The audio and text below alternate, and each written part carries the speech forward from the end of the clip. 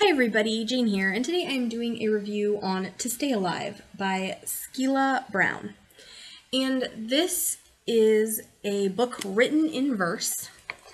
It is a middle grade written in verse, and I'd gotten it as part of the middle grade March challenge to read a book written in verse. So this is my pick. And this is about the Donner Party. If anybody doesn't know who the Donner Party is, they were a group of settlers who were trying to go to California and they got stuck in the Sierra Nevada and a, like almost half the party died. And one of the reasons they are so famous because they they ate each other. They, they ate their dead. Now there is a lot of historical contention about whether that really happened. I my understanding as I did some research after reading this book is that archaeologists say there's not really evidence that they would expect to see of cannibalism. However, people in their accounts said that they did.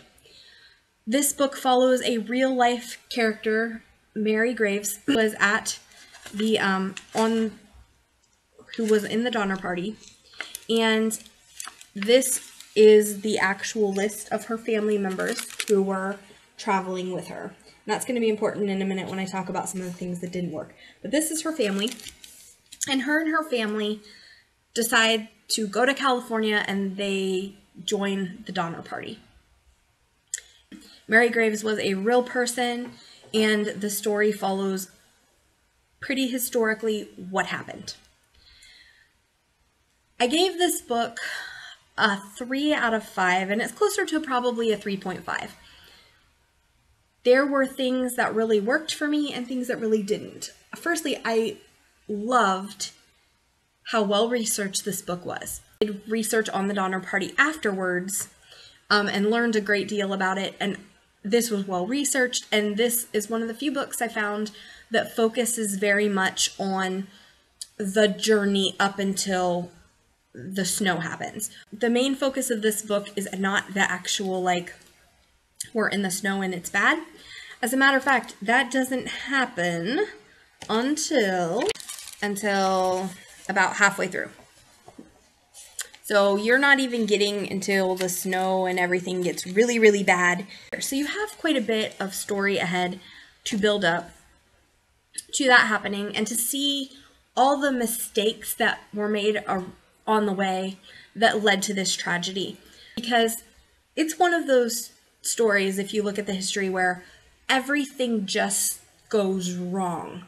And if one thing had gone wrong, or even two things had gone wrong, everything would have been fine. But just multiple things go wrong, and they have all these hardships even before they get caught in the snow. I also learned, and I didn't know this about the Donner Party, that, you know, there were groups sent out early, fairly early on to try to get help, and Mary was one on one of those and in that group. And so she was one of the first people to leave the camp to try to go get help. I loved that and I love that it stuck so close to history and I learned a lot to read this book. I learned a lot reading this book. But there were a few things that didn't work for me. Firstly, I and this is a criticism of the author's choice to follow this character for this book, not of the character and their story. Because Mary comes from such a large family, we don't really ever get close to her family members. And so when they start to die, you're sad that Mary's sad and the horror of the situation is there, but you didn't really know them. And I think especially because this book is written in verse, if I would have liked to maybe see the writer have chosen somebody with a smaller social circle or maybe focus more on one or two relationships to make it more tragic when the deaths happen. Because you know going in that people are going to die and that half the party dies. Like that's just history. And i think the thing was because i didn't have a lot of time with these characters ahead of time and because there were so many I wasn't really truly affected by their deaths. Like, it's sad they died, but it wasn't like a. I have a relationship with this character that died and is now getting eaten or just died in some cases. You know, I just, it wasn't as, it was hard for me to get really invested in the characters because she had such a large family. And I think maybe this story would have worked better. And again, I don't know the author's intentions. If the author's intentions were to just write about Mary, I'm not sure, and write it in verse, I'm not sure that she could have done anything different or better.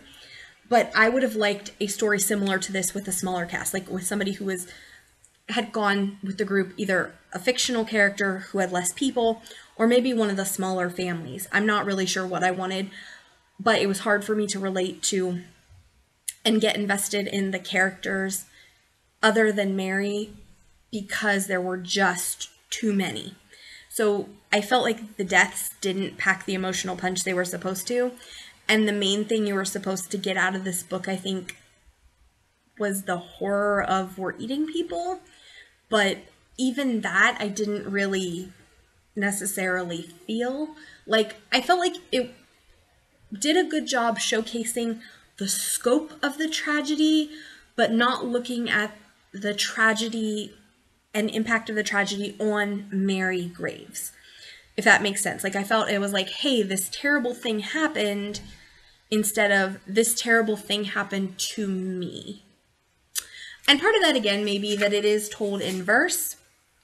And so it's just not maybe it, I found it harder to connect for that reason. I'm not really sure. I, I enjoyed this and I was fascinated and I wanted to learn more, but I didn't really connect with the characters in it. Um, even Mary herself, I didn't really feel super connected to her. I didn't. I I didn't feel as sorry for her upset when her people died, like, and that's hard because when I found out, like, I didn't realize going in that this was a real person.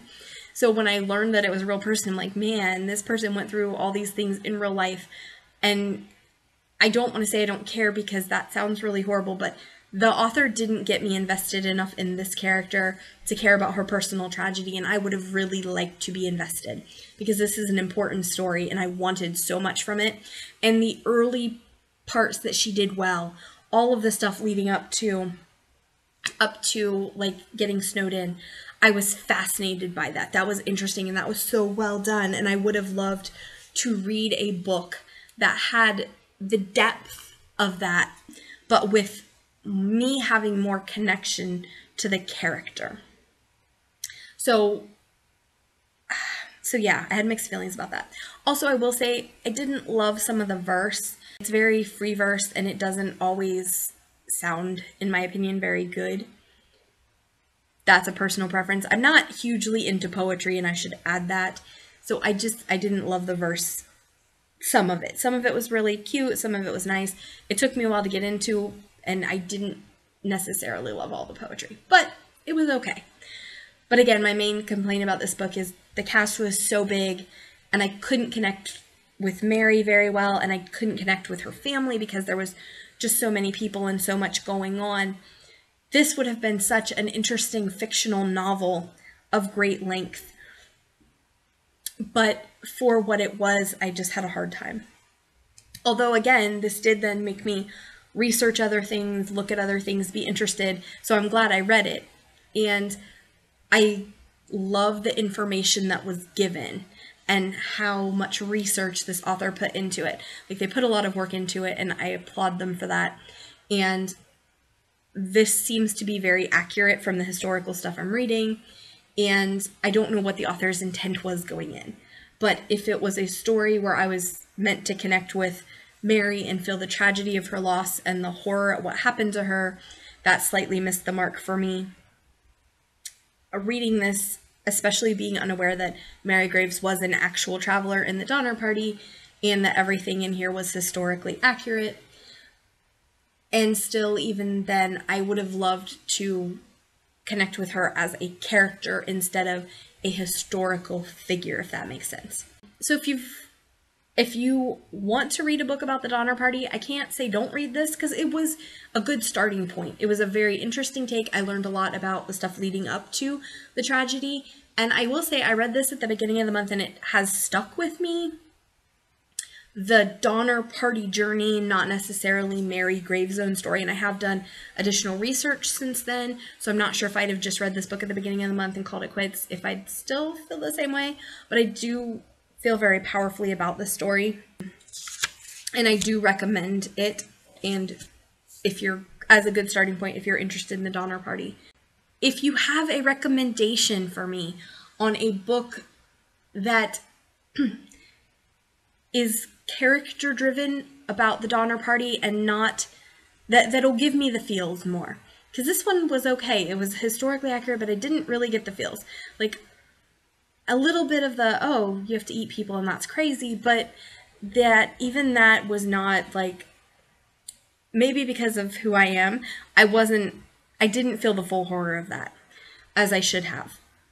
So if you have any recommendations on a book where you connect a little bit more with the characters, maybe a Donner Party book, but that is more character driven, maybe that deals with a fake family or a smaller cast, or even this character, Mary Graves, who is just, you know, more focused on the character development. I, I needed a little more character in my story, I think.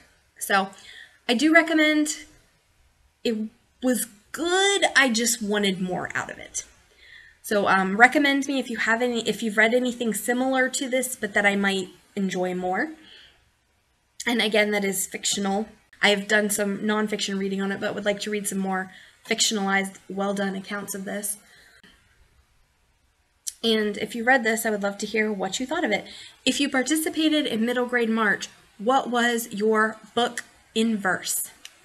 So um, yeah, leave me comments below, like and subscribe, and follow me on social media if you are so inclined.